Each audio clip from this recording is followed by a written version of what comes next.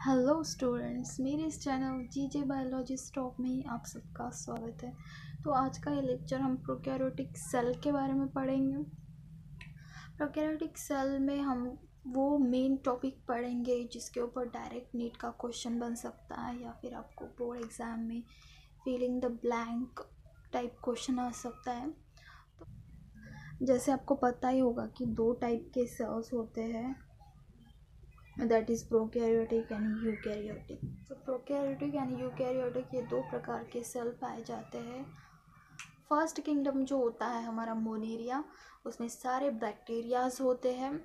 सारे बैक्टीरियाज होते हैं और जो प्रोकैरियोटिक सेल होता है, वो इन्हीं बैक्टीरिया में पाया जाता है। तो अगर हमें प्रोकैरियोटिक सेल का एग्ज़ाम्पल देना हो तो हम बैक्टीरिया को बता सकते हैं। सारे ही बैक्टीरिया प्रोकैरियोटिक सेल होते हैं।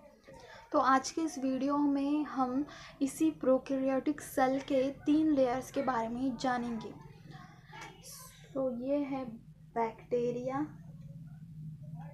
बैक्टीरिया की सबसे अंदर अंदर वाली वाली लेयर को हम कहते हैं प्लाज्मा मेम्ब्रेन सो इसके ऊपर और एक होती है इसे कहते हैं सेल वॉल इसके ऊपर और एक लेयर होती है जो कि यूकैरियोटिक सेल में नहीं पाई जाती. यूकैरियोटिक सेल में सिर्फ़ होता है plasma membrane and cell wall पर प्रोकैरियोटिक सेल में प्रोटेक्शन के लिए और एक लेयर होती है, जिसे हम कहते हैं ग्लाइकोकैलिक्स जिसे हम कहते हैं ग्लाइकोकैलिक्स सो फ़र्स्ट वाली लेयर को हम कहेंगे प्लाज्मा मेम्ब्रेन सो फ़र्स्ट वाली layer is plasma membrane then second वाली लेयर को हम कहेंगे cell wall and then third वाली layer is a glycocalyx third वाली लेयर जो है, वो है ग्लाइकोकैलिक्स आपको ये बात याद रखनी है कि यूकैरियोटिक सेल में और प्रोकैरियोटिक सेल में ये एक डिफरेंस है कि उसमें ग्लाइकोकैलिक्स नहीं होती है। आई रिपीट यूकैरियोटिक सेल में ग्लाइकोकैलिक्स नहीं होती है उसमें सिर्फ़ plasma membrane and cell wall पाई जाती है।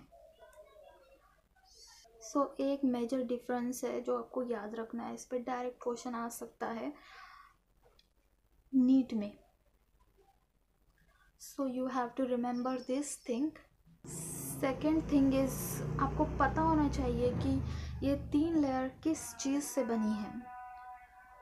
सो हम ये पढ़ेंगे कि ये तीन लेयर्स किस चीज़ से बनी होती हैं प्रोकैरियोटिक सेल में। हम इसको थोड़ा अच्छी तरीके से लिखेंगे ताकि हमें अच्छे से समझ में आ जाए। सो so, ये है एक बैक्टीरियल सेल जिसके तीन लेयर है। यहाँ पे डीएनए पड़ा होता है जो कि खुला ही होता है जिसमें कोई भी मेम्ब्रेन बाउंड ऑर्गेनल नहीं होता है। कुछ राइबोसोम्स भी होते हैं यहाँ पर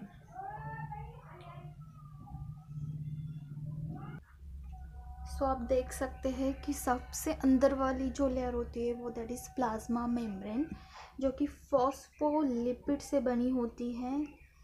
इसमें लिपिड वर्ड आ रहा आ रहा है तो आप समझ सकते हैं कि ये लिपिड से बनी है।